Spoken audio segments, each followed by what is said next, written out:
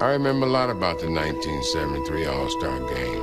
The chance to play alongside some of the greatest of all time and show them that I belong. But most of all, I'll never forget the honor of representing my team and my city. This year, we get to do it all again. Kansas City, this is our time. Every Friday at the K is Fireworks Friday, sponsored by Hy-Vee and Pepsi. Get tickets now at Royals.com.